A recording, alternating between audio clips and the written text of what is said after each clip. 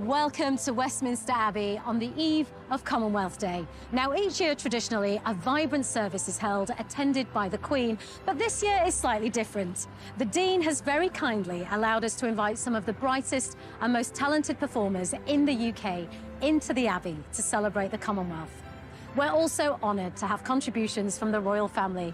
Her Majesty the Queen will share her Commonwealth Day message, and the Prince of Wales, the Duchess of Cornwall, the Duke and Duchess of Cambridge, and the Countess of Wessex will join us in marking this very special occasion. Now, although they can't be here in person, we'll also be hearing from inspiring Commonwealth voices from across the globe as we celebrate the Commonwealth in 2021.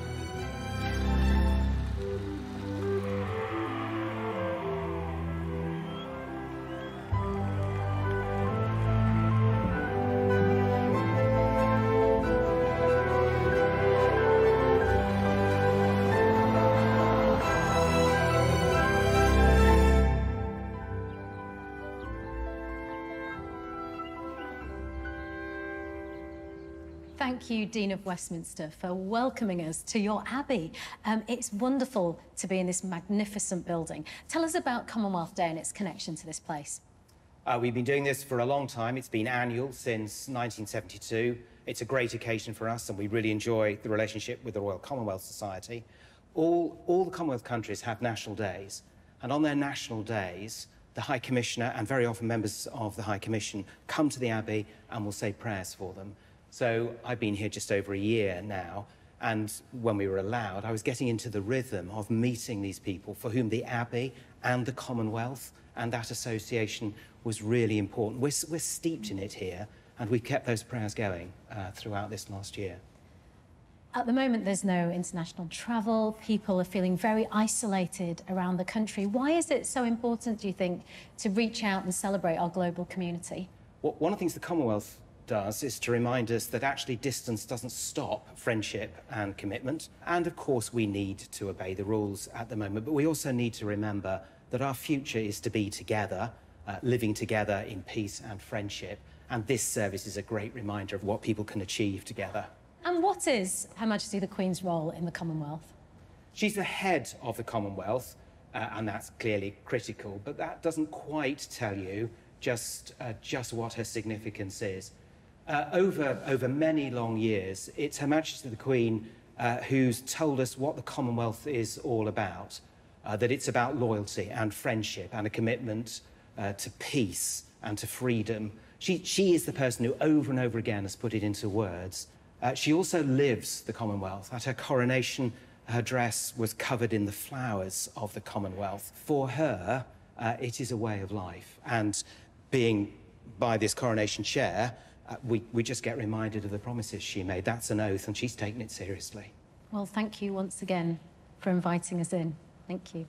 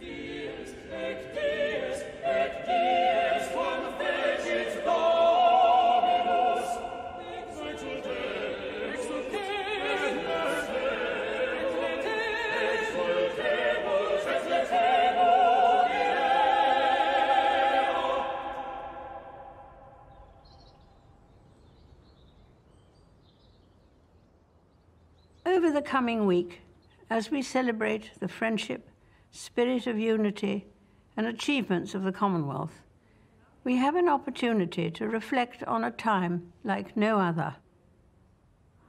Whilst experiences of the last year have been different across the Commonwealth, Stirring examples of courage, commitment, and selfless dedication to duty have been demonstrated in every Commonwealth nation and territory, notably by those working on the front line who have been delivering health care and other public services in their communities. We have also taken encouragement from remarkable advances in developing new vaccines and treatments. The testing times experienced by so many have led to a deeper appreciation of the mutual support and spiritual sustenance we enjoy by being connected to others. The need to maintain greater physical distance or to live and work largely in isolation has, for many people across the Commonwealth, been an unusual experience. In our everyday lives, we have had to become more accustomed to connecting and communicating via innovative technology, which has been new to some of us, with conversations and communal gatherings, including Commonwealth meetings, conducted online, enabling people to stay in touch with friends, family, colleagues, and counterparts who they have not been able to meet in person. Increasingly, we have found ourselves able to enjoy such communication, as it offers an immediacy that transcends boundaries or division, helping any sense of distance to disappear. We have all continued to appreciate the support, breadth of experiences, and knowledge that working together brings. And I hope we shall maintain this renewed sense of closeness and community. Looking forward, relationships with others across the Commonwealth will remain important as we strive to deliver a common future that is sustainable and more secure, so that the nations and neighbourhoods in which we live, wherever they are located, become healthier and happier places for us all.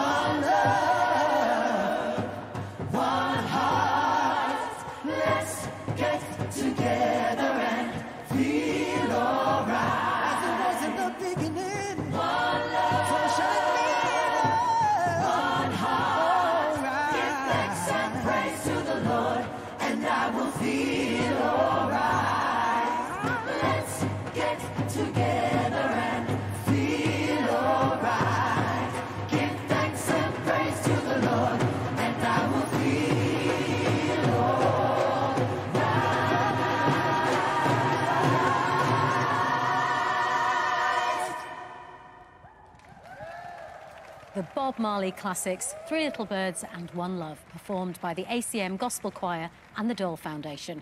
And we're grateful to Rhys Edward for carrying the Commonwealth flag. Our next contribution comes from the Prince of Wales. On Commonwealth Day, I'm reminded once again that the essence of the Commonwealth is its remarkable diversity. A family of some 2.4 billion people from 54 nations across six continents, whose traditions, knowledge, and talents offer an incomparable richness of ideas and perspectives on the world we share. When we gathered here in Westminster Abbey on Commonwealth Day last year, such a challenge was unfolding at a scale that few could have imagined. Twelve months on, the coronavirus pandemic has affected every country of the Commonwealth, cruelly robbing countless people of their lives and livelihoods, disrupting our societies, and denying us the human connections which we so dearly cherish. Amidst such heartbreaking suffering, however, the extraordinary determination, courage, and creativity with which people have responded has been an inspiration to us all. This pandemic has shown us the true nature of a global emergency. We have learned that human health, economic health, and planetary health are fundamentally interconnected, and that pandemics, climate change, and biodiversity loss are existential threats which know no borders. Nature, it seems to me, is at the heart of this. She is central to all aspects of our existence, from the air we breathe, our nourishment and shelter, to our spiritual, cultural, and recreational well-being. Universal principles rooted in the harmony of nature's patterns, cycles, and geometry can, in fact, be harnessed to inform sustainably align science, technology, design, and engineering. Encouragingly, it is increasingly our young people who make up 60% of the Commonwealth citizens who instinctively understand how critical it is to protect and restore the natural world. The Commonwealth is on the front line of this endeavour. Over the years, having visited almost every part of the Commonwealth, I, I have seen for myself so many of the remarkable landscapes and marine environments and the precious biodiversity they hold. I have also seen how the remarkable ingenuity and talent across the Commonwealth can provide so many of the solutions, be it renewable energy in India, uh, regenerative agriculture in South Africa, green hydrogen in Australia, sustainable shipping in Barbados, reforestation in Rwanda, uh, the marine economy in Fiji, or nature-based solutions in Canada, the Commonwealth is at the forefront of global innovation and action. For my part, I am determined to do what I can to support this vital effort, which is why I recently launched my Terra Carta to serve as the basis of a recovery plan for nature, people and planet. The Commonwealth has been a cornerstone of my life for as long as I can remember. It is my dearest wish that it might also be the cornerstone of a sustainable future for us all. As we recover from everything that we have endured and continue to endure through this pandemic, we have an unprecedented opportunity to change course. by harnessing the extraordinary potential of our Commonwealth family, we are uniquely placed to lead the way. So let us be the boldest of the bold, and let us offer an example to the world. I was lucky to grow up in one of the most forested regions in Kenya. And I remember planting my first tree at the age of seven, and even being able to see clean streams that I could directly drink from. And I would say this connection made me develop a very strong love for nature. I got to feel angry about seeing people cutting down trees and even passing by places and finding people maybe throwing trash out of car windows. My name is Elizabeth Wathuti. I'm an environmentalist and a climate activist, and I'm working to create a livable world now and a safe future for all by inspiring the young generation. We want everyone to understand that nature is a part of us and not apart from us.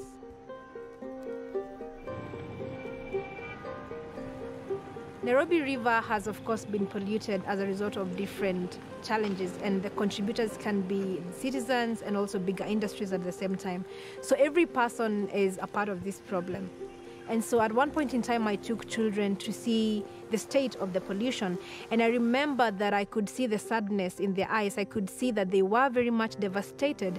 And of course, two questions that these children asked me, and one of them was, who did this? And the other question they asked me was, what can we do about this? So I thought to myself, why not create a generation of young people who are environmentally conscious and who can have that chance to also connect to nature at a young age and love nature at a young age? And what happens when you love something? Are you going to destroy it? No. Are you going to interfere with it? No. If you love a tree so much, are you going to cut it down? No. I decided to begin a campaign that I dubbed Adopt a Tree campaign, whereby I would ensure that every child in every school in my country gets a chance to plant and adopt a tree each in their school compound. It's not just about planting a tree, it's about planting a tree, watering it, nurturing it, and making sure that that tree grows up to maturity. Because just like we human beings need tenderness and we need love and we need all the care to survive, the same thing we need to put when it comes to how we address nature. Much of what I do is about changing people's mindsets and perspectives about appreciating the natural world. By working with young people in this way, I feel so much hope because the young people are courageously stepping up and standing up to shape the kind of future that they want to see. And this makes me feel hopeful about the future of this country and the future of the world.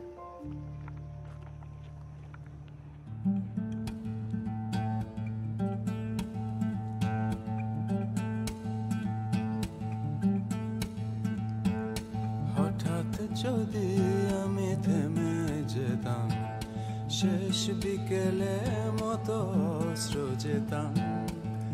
অসীম রাতে সেই শেষ হয়নে, সূর্যের সাথে আমি ঘুমিয়ে যেতাম।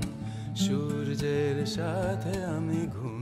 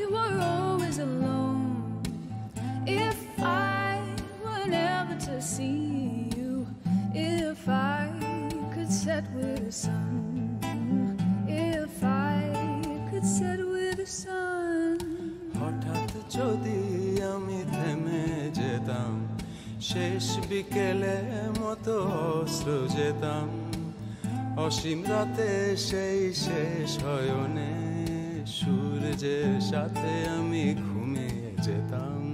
সূর্যের সাথে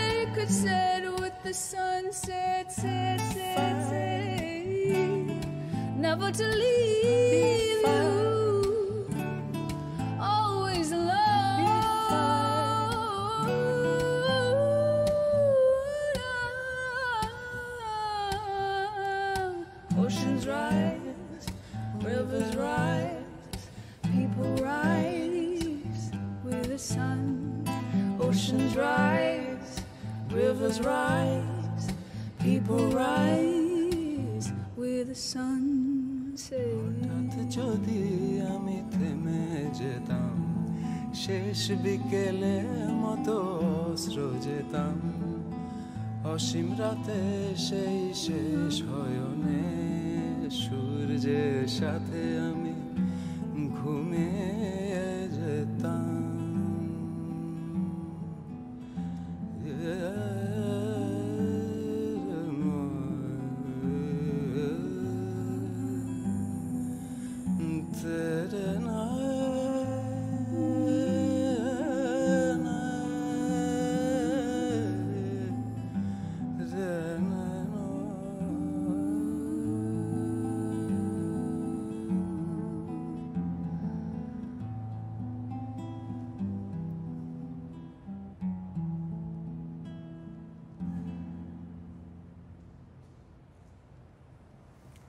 I won't be forgetting that in a hurry. Our thanks to Nitin Sawhney for that beautiful performance. Now, the Duchess of Cornwall has a strong interest in reading and literacy and has launched an online reading room. She met with Clare Balding and Global Teacher Prize winner Ranjit Singh Disale from India in Poets' Corner here in Westminster Abbey. Sitting here in Poets' Corner with memorials to hundreds of wonderful writers, it seems the perfect place to discuss the importance of, of children's literacy. And it's a subject very dear to my heart as an author of children's books, and I know, Your Royal Highness, something that you care about passionately. I've always had a passion for books. Uh, books have been part of my life for so long. I started reading when I was very, very young with a, with a father who was a fervent bibliophile. So from, from the age of two or three, he used to sit and read to us children, take us on wonderful adventures sort of all over the world. And I think I was bitten at that age. And from then, I've, I've just kept going. And I've got um, involved in a lot of literacy um, programs and patronages. And I, I just feel very strongly that all children should be taught to read. And getting access to books is, is crucial for that. And we're joined live on screen from India by Ranjit, who won the Global Teacher Prize for, for 2020. Ranjit, can I ask you, how have you tackled those challenges and how also have you made education fun? Because that's something you really believe in. Yeah, uh, it was not an easy task for me. The girls were sitting at home, taking care of their little brothers and sisters, no one was caring about girls' education. So I invited some girls from nearby cities, nearby villages, who were studying well, inviting them in the schools, and setting with them a role model before the parents. Now look at this girl. If they can do, it means your girl can do as well. It's now your responsibility to empower your daughter and give her her birthright of quality education. I've been doing some online reading, ma'am, with my with my niece who's ten. So she reads a bit of a book and I read a bit of a book. So we have this shared experience. And actually, for all that y- y- you know, it has separated us, the, the pandemic. At least with the internet, we can be connected, and there's so much that becomes possible. Mm-hmm. But I, I have to admit, I have to put my hand up. So before lockdown, I wasn't a great lover of the internet. In fact, I, I was always trying to wrench these machines away from my grandchildren. But uh, since lockdown, I'm afraid I have, I have to admit I have become a little bit of an addict. During the first lockdown, um, I just thought it might be a good idea to, to make a list of some of my favourite books online, another asset of the internet. Um, so I launched a reading room, which is a book club, but it's, it's my reading room. It's fascinating how much it connects people all over the world. But what it does as well is it creates a shared experience, and I think that's what we've all been missing yeah. so much because yeah, exactly. we haven't been able to have it through yeah. sport or theatre or the usual outlets. So actually, lots of people reading the same book and then having you know, quite an active conversation. It is. You it. could share it all, you yes. know. And I said, you, you, we've all been bereft of friends and a lot of people surrounding us. So it's nice to have a way of chatting it is extraordinary, actually, how much more the internet has been able to, to give children and adults access to books. And, and Ranjit, how has that um, impacted your students, being able to read online and being taught online? Yeah, they have experienced the power of internet as well. And reading online has actually improved them to expose themselves to new things. It also helped my students and improve their imagination. You know, there is no limit to imagination. What you can imagine, limitless. And also, it improves to reduce stress. Can I ask Ranjit one question? Um, there's a wonderful writing competition that I'm part of called the Queen's Commonwealth Essay Competition, where we get uh, uh, children from the Commonwealth to submit an essay. And I think it'd be lovely if you could get your girls to join in and, and write an essay. I'll definitely uh, doing that. Thank you so much for giving me opportunity. Well, thank you so much, Your Highness, and thank you to Ranjit. Be you far or be you near, somehow for me you're always there. I say a prayer and sing a song I always know it won't be long. Be I alone or not, I know. I never am, you're ever close. From city side to countryside, to continent to country, I take pride in knowing that I have a love that when below lifts me above. Together we, in unity, will be again in time to be. But tied we are by lines of love. Across the world, the tides are none. To separate the thing we share, that somehow always keeps us here. I know my loved ones far and wide will soon again be by my side. Though much we learn in times of woe, I know these days are soon to go. So come what comes, or come what may, if you're with me, I'll be okay. Although we've been apart some days, here on the line, I know you'll stay. And one day soon, I know we'll sing about the former, harder things, the troubles that we've all been through, that time and strength will take us through, to days of joy and light and mirth, where'er you be upon the earth. So when you celebrate and do, know that we are here with you. Different parts of the Commonwealth have had very different experiences of COVID-19. In New Zealand, with low levels of transmission, life has continued as normal in many parts of the nation. This has allowed the New Zealand Youth Choir to keep singing and keep sharing their music. They recorded a special Maori song of greeting for us, a call of friendship, despite the distance.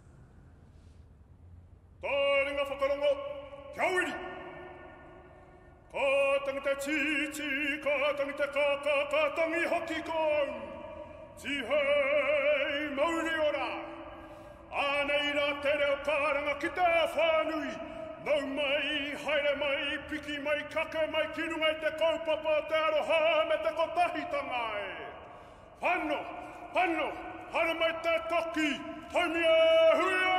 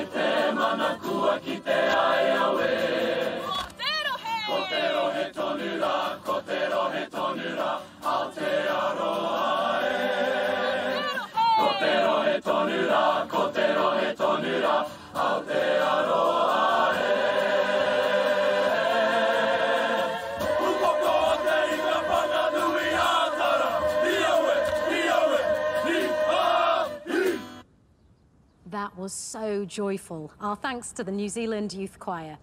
Now, the 8th of March not only marks Commonwealth Day, it's also International Women's Day. And the Countess of Wessex was joined by author and broadcaster June Sarpong and two female activists, Virginia Khunguni from Malawi and Caitlin Figueiredo from Australia. Hello, uh, everybody, uh, and welcome. Hi, Caitlin. How are you? I'm very good, Roa Anas. Hi, Virginia. How are you? It's nice to see you again. Thank you so much. I'm glad to be here. Brilliant. Now, of course, you're both uh, part of the Queen's Young Leaders. And what would be lovely, uh, Caitlin, uh, is if you could begin to tell us some of the work that you've done. Yes, so um, I run an organization called Jaziri Australia. So we are a youth led organization operating in Commonwealth countries. So we're all about trying to change the face of leadership by providing young women with opportunities to be political leaders and policy change makers. Wonderful. Now, ma'am, I know for you, gender equality is something that you're very passionate about. Why do you think it's important to have organizations like this working at the grassroots to really empower uh, the next generation of female leaders? There's no end of passion from young people, um, and there's no end of desire to want to do something. But often I think they find um, what's my next step? How do I get involved? So for Caitlin to have created an organization to put them in front of people where they can start to feel that they're having an influence is astonishing. So, Virginia, can you tell us a bit about the work that you do? Yes, I run an organization called Girls Arise for Change, uh, which works to promote girls to health and education by ending social and cultural practices that undervalues women's potential here in Malawi. I actually got to visit um, Virginia's one of Virginia's projects when I was in Malawi. Um, so I saw firsthand what they're actually doing with these young women. Um, and I think what's really important here is that she's helping them to create uh, training and business models that actually are appropriate to where they are we need to train more women to become financially independent. That is by not by giving them money to run businesses but by giving them the skill. Because when we give them a skill the skill is a life it's a lifetime asset for them than giving them money. Um, often women's voices are not heard at the top and we don't have a seat at the table not in the number that we should. Um, how do we ensure that that becomes the norm especially with everything that we see happening with covid and the fact that actually we are regressing better policy and better outcomes are achieved when women are in the room, when more than half the population are in the room and getting to make sure that all of their voices, all of their issues are represented. Brilliant. I love that. And, and ma'am, would you like to add to that? Uh, that can become a bit of a fatigue when it comes to talking about women's rights, women's issues, and everything. And so I'm quite keen to try and move the discussion into a place where it becomes a much more level playing field because it is a Mm. win win. It's not one against the other. If we now can look at education, particularly in, in countries where virtual education isn't as easily available, um, what do we do to ensure that our young girls don't get left behind through this process? Where I am right now in Malawi, the majority of schools do not have online learning because many many students do not have laptops. We can't even talk about internet. So as we are going back to uh, developing education uh, through this COVID pandemic, we really have a very big job because we've had a setback. It is a real worry because there's obviously a lot of the Commonwealth countries that have got, we're still trying to get girls into education. Where are the gaps going to be there? What is going to be happening to those girls right now? Young people in particular, they have those innovation mindsets. They they want to support and they want to connect. I always say, as women, we need to learn that we are not competitors, but we are supporters of each other's progress. So, as women, we should be able to share each other's skills. Women should be, those that are in higher positions, should open up to give opportunities to those, to those women that are coming, those women that are inspiring. And the Commonwealth is a great force for good. And I think if we can keep coming together and, and talking to each other and using the technology that's now at our fingertips, but really has proven its worth during this last year, let's use that as a force for good. On that note, thank you so much, ma'am. Uh, thank you, Caitlin. Thank you, Virginia. Uh, it's been a pleasure uh, leading this conversation with you all and continue the fantastic work. Sport plays an important role in the Commonwealth. Denise Lewis shared her experiences. I was born in West Bromwich in the Midlands to a Jamaican mother. Although we were immersed in an English way of life, there was always a tinge of Jamaican flavour in the house, whether it was music, cooking, or the patois that would bellow out of my usually reserved mother's mouth when England played the West Indies cricket team.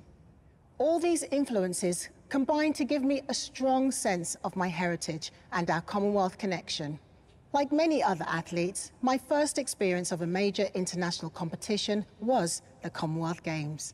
A games which are sometimes aptly referred to as the friendly games, but with a healthy balance of fierce competition. It's a tournament unlike any other with a strong spirit of unity permeating through every element. All of the competing countries share the bond of the Commonwealth. The national teams, whose individual sports usually train apart, all come together with disabled and non-disabled athletes, uniting together to represent their countries. In 1994, I went into the heptathlon competition mentally unprepared to be crowned Commonwealth champion. And the Games changed my life, as they have done for many others before and since. I had the pride of returning to the Games four years later as favourite, and retaining my title really was a dream come true. And like so many people around the Commonwealth, I can't wait for the Games to return next year. For me, it will be like coming home to the city where my aspiration was forged, to the host city of Birmingham. This year, all around the Commonwealth, the doors of gymnasiums were closed and the stadium lights were turned off. But in the face of adversity, giving up was never an option.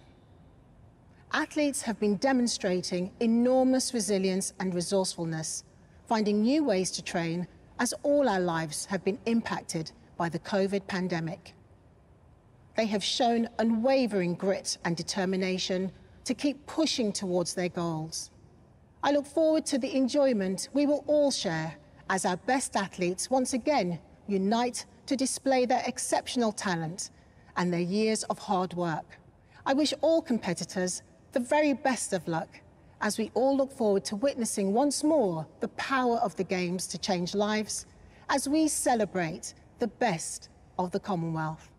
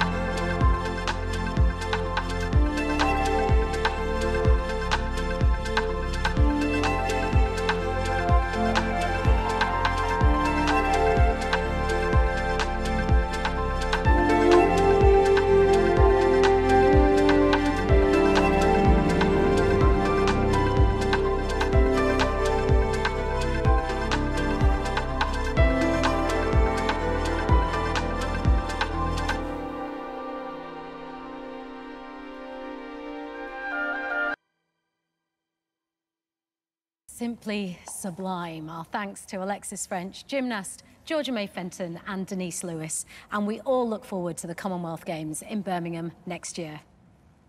Now, the pandemic has been extremely hard for many of us, but one positive that it has shown are the networks of care that our communities are founded on. Now, many have been put under intense strain, but people across the world have adapted and worked hard to do all they can to help. The Duke and Duchess of Cambridge have spoken to three inspirational voices from across the Commonwealth.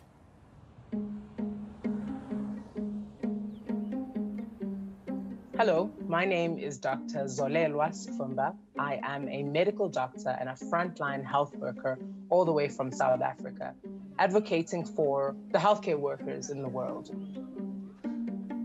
Dr. Zola, can you hear us? Uh, hi. Yes, I can hear you. Hello. Hello. Maybe could you give us both just a little bit of a, a, a brief picture of what it's like in South Africa at the moment with COVID? We're basically struggling and facing the brunt of it, I think, are the healthcare workers who are trying, you know, their best to be there and, and, and do all the work and get all the work done. But the problem is we are stressed as well. We are burnt out as well. We are burdened, you know. Um, and it's been like this for years. We have been exposed to occupational illnesses. I myself got multi drug resistant tuberculosis as medical student. It's been tough because of the circumstances that we've had to practice under anyway. And now the pandemic has put on a bit more, a lot more pressure. Zolelwa, here in the UK, there's been a massive sort of public recognition of the amazing work that the frontline are doing. And it, it's sad almost that it's taken the pandemic for the public to really back and support all those working on the front line? We actually know the problems. We see the problems every day. We walk into work, they're the problems. But the problem is our voices are not heard.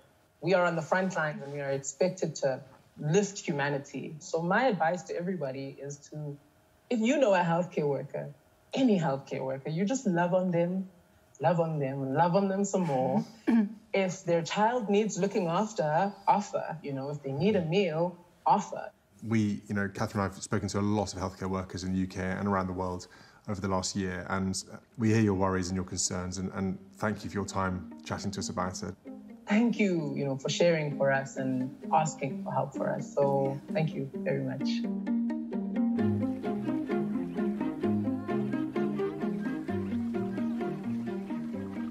My name is Faisal Islam and I am the co-founder of SafeWheel, an affordable emergency medical service provider for the rural people of Bangladesh. Faisal, um, we've been hearing a little bit about your SafeWheel idea. Can you tell us a little bit about it? So a couple of years ago, my best friend uncle had a road accident and just because he couldn't manage an ambulance during that time, uh, he died because in our country there are very few ambulances for rural people. So our solution is that we designed a low-cost mini ambulance. So now they can get an ambulance with very affordable cost, unlike the regular ambulance. And we have planned to reach as many villages as possible and help more people. And, and how are your rickshaws kitted out? Uh, what we have is basic healthcare equipment like an oxygen cylinder and some other sorts of necessary equipment that uh, can save save the patient during that emergency situation. Faisal, very nice to meet you, and you know it's a fantastic idea, and uh, we both wish it every success in the future. Thank you very much, Your Royal Highnesses.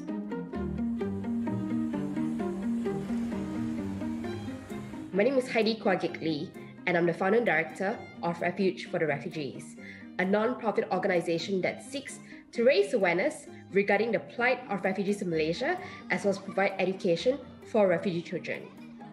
Maybe you could just give us a little bit of a picture as to why your organisation, Refuge for the Refugees, even needs to exist. What is it that's a situation like uh, in Malaysia that, that made you want to set this up? When refugees are here in Malaysia, they don't have access to education, healthcare, job opportunities. So they're often in limbo, you know, and not everyone gets resettled. If even if they do, the waiting process is anywhere between 10 to 15 years. And these kids, if they don't get access to education of sorts, they get left behind for a very long time. And Heidi, has the recent pandemic made it even more challenging, not only for you to carry out the work, but also for the refugee communities? The lockdown has been difficult because the reality is for the refugee and migrant community, um, they don't have access to Wi-Fi or internet or devices that allows you know online engagement. So I think that has been hard. And Heidi, do you know how many refugees have benefited from your programs? I guess in total, we've reached about um, close to 200,000 refugees. Wow, Yeah. that's a that's a si- sizable amount of people you've reached, and it's um it's fantastic what you're doing, and just a huge congratulations from Catherine and I, I think, in, in terms of what you're what you're managing and, and, and dealing with.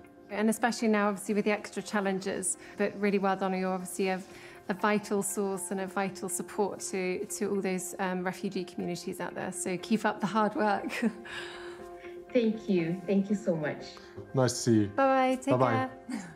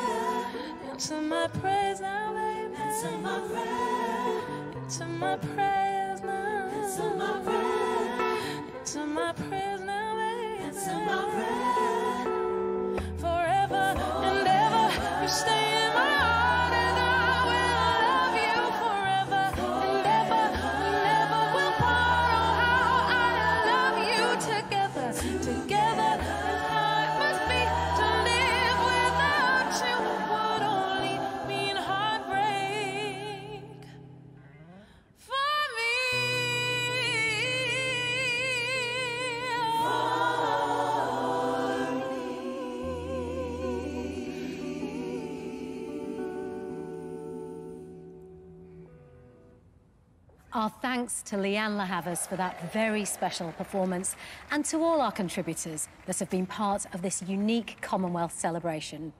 We now hear from Commonwealth Secretary General Patricia Scotland.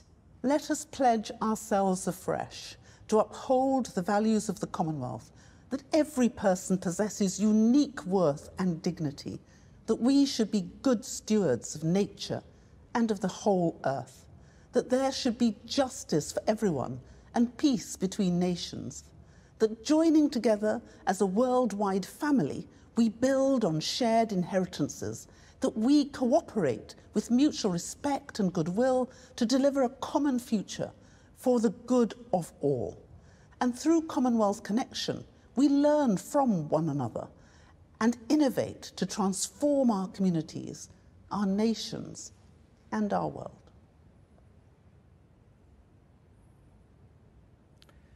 In this house of prayer, year by year, we celebrate our life as a commonwealth and as God's people. In the midst of a challenge that we all share, we ask for God's guidance and grace in looking for a better future that we can also share. It is our prayer that we might be agents of a deeper peace and a greater justice. So we ask for the gifts of an imagination that can hope abundantly and a courage to seize that hope.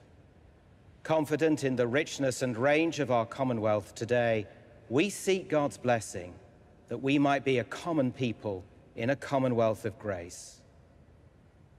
Lord God, hope of all the nations, when we feel isolated and alone, strengthen the bonds of our affection. When we face illness and death, renew our confidence in you. When fear and mistrust infect our words, renew us in the truth. And when we have great challenges before us, strengthen us. Bless, we pray, our Queen, the work of the Royal Commonwealth Society, and our shared witness that this Commonwealth of Nations may be a sign of the hope that is in us and a glimpse of the glory that you alone can give. As our Saviour taught us, so we pray. Our Father, who art in heaven, hallowed be thy name. Thy kingdom come. Thy will be done. On earth as it is in heaven. Give us this day our daily bread. Forgive us our trespasses. As we forgive those who trespass against us. And lead us not into temptation. But deliver us from evil. For thine is the kingdom, the power, and the glory. Forever and ever. Amen.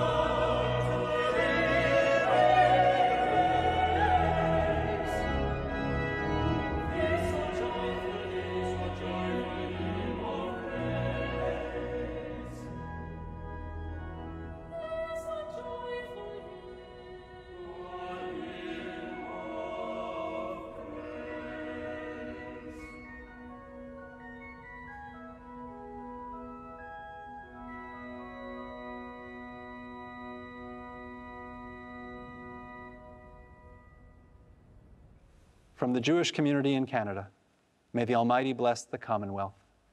ශ්‍රී ලංකාවේ සිට පොදුරාජ්‍ය මණ්ඩලයේ සමරුම් දිනයට තුනුරුවන්ගේ ආශිර්වාද ලැබේවායි අපි සිත් පතමු. God bless the Commonwealth from the Baha'i community in Zambia. ਤੀਨ ਦੁਨੀਆ ਦੇ ਮਾਲਕ ਸਾਹਿਬ ਸ੍ਰੀ ਗੁਰੂ ਨਾਨਕ ਦੇਵ ਸੱਚੇ ਪਾਤਸ਼ਾਹ ਜੀ ਦੇ ਸਰਬੱਤ ਦੇ ਭਲੇ ਦੇ ਪੈਗਾਮ ਅਨੁਸਾਰ ਕਾਮਨਵੈਲਥ ਸਾਰੇ ਦੇਸ਼ਾਂ ਲਈ ਸਤਿਗੁਰੂ ਸੱਚੇ ਪਾਤਸ਼ਾਹ ਜੀ ਮਿਹਰ ਭਰਿਆ ਹੱਥ ਕਿਰਪਾ ਬਣਾਈ ਰੱਖਣ God bless and protect the Commonwealth communities. Kugongo Elipokaili Zolonge. বিসমিল্লাহিররহমানিররহিম ভিন্ন ভিন্ন জাতি ধর্ম বর্ণ ও সংস্কৃতির ঐক্যের প্রতি সমন্বয়ের দীর্ঘজীবী হোক আমিন May God bless all the people of the Commonwealth. God grant to the living grace, to the departed rest, to the Church, the Queen, the Commonwealth, and all people, peace and concord, and to us sinners, life everlasting. And the blessing of God Almighty, the Father, the Son, and the Holy Spirit be amongst you and remain with you always. Amen.